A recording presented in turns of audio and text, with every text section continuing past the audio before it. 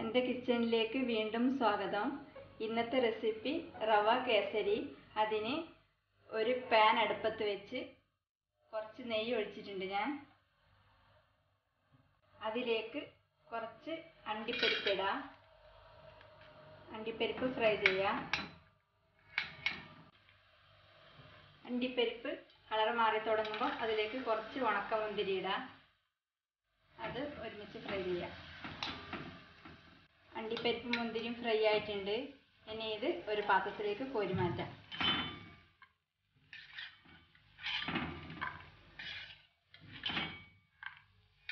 ഇനി അതേ നെയ്യിലേക്ക് കുറച്ചുകൂടെ നെയ്യ് ഒഴിച്ചിട്ട് അതിലേക്ക് ഒരു ഗ്ലാസ് റവ ഇടാം. ഇത് വറുത്ത റവ തന്നെ വാങ്ങിച്ചതാണ്. അതുകൊണ്ട് കുറച്ച് സമയം ഫ്രൈ ചെയ്താൽ മതി. വറുക്കാത്ത റവയാണെങ്കിൽ കുറച്ച് കളർ മാറുന്നവരെ ഫ്രൈ ചെയ്യാം. ഇത് നെയ്യിൽ കുറച്ച് സമയം ഫ്രൈ ചെയ്യാം. ഇതേ സമയത്ത് ഇവിടെ പാൽ തിളക്കാൻ വെച്ചിട്ടുണ്ട്. ഒരു ഗ്ലാസ് റവക്ക് രണ്ട് ഗ്ലാസ് പാലാണ് തിളപ്പിക്കാൻ വെച്ചിട്ടുള്ളത്. രണ്ട് ഗ്ലാസ് പാലിൽ ഒരു ഗ്ലാസ് പാലും ഒരു ഗ്ലാസ് വെള്ളവുമാണ് എടുത്തിട്ടുള്ളത്. ഇത് ഏകദേശം ഒരു അഞ്ച് മിനിറ്റ് ഇളക്കിയ ശേഷം അതിലേക്ക് തിളച്ച പാൽ ഒഴിക്കാം. തീ കുറച്ചിട്ട് വേണം ചെയ്യാൻ വേണ്ടിയിട്ട്.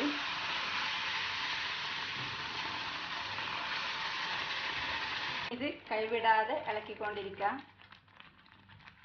ഇനി അതിലേക്ക് കളറിന് വേണ്ടി കാൽ സ്പൂൺ മഞ്ഞൾപ്പൊടി ഇടാം. മുക്കാൽ ഗ്ലാസ് പഞ്ചസാര ഇടാം. ഞാൻ എടുത്ത ഗ്ലാസ് ഇരുന്നൂറ് എം എല്ലിന്റെ ഗ്ലാസ്സാണ് എല്ലാം പാലും റവയും പഞ്ചസാരയും എല്ലാം ഒരേ അളവിൽ ഉള്ള ഗ്ലാസ്സിന് എടുത്തത്. എത്ര അളവിലാണെങ്കിലും ഒരേ അളവിലുള്ള ഗ്ലാസ്സിന് അളക്കാം. അതിലേക്ക് ഒരു നുള്ള് ഉപ്പിടാം പൊട്ടിച്ചിളക്കാം ഒരു സ്പൂണും കൂടെ നെയ്യ് ചേർക്കാം. ഇതിലേക്ക് അര സ്പൂൺ ഏലക്കപ്പൊടി ഇടാം. ഇനി നേരത്തെ വറുത്ത് വെച്ച അണ്ടിപ്പരിപ്പ് മുന്തിരി ഇതിലേക്കിടാം ഇത് പാത്രത്തിൽ നിന്ന് വിട്ട് വരുന്നവരെ ഇളക്കാം. ഇത് പാത്രത്തിൽ നിന്നും വിട്ട് വരുന്ന പാകത്തിനായിട്ടുണ്ട്. ഇനി തീ ഓഫ് ചെയ്ത് എണ്ണ തടവിയ ഒരു പാത്രത്തിലേക്ക് മാറ്റാം.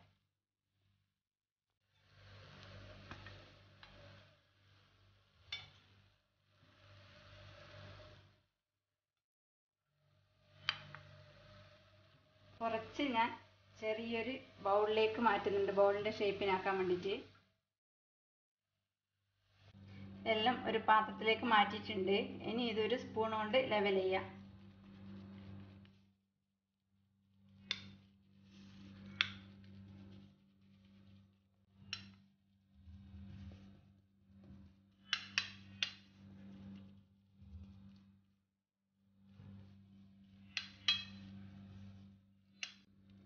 ഇത് ലെവൽ ചെയ്തിട്ടുണ്ട്.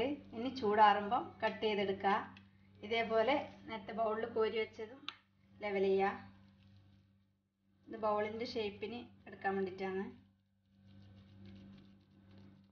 ബൗളിലേക്ക് ആക്കിയത് ഇങ്ങനെ സെർവ് ചെയ്യുക ഇത് ചൂടാറിയിട്ടുണ്ട്. ഇത് ഇനി കട്ട് ചെയ്തെടുക്കാം.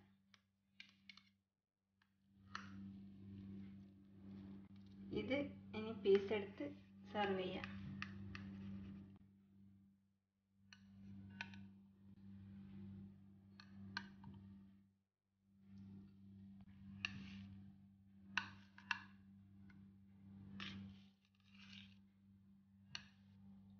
റവ കേസരി റെഡിയാണ് താങ്ക് യു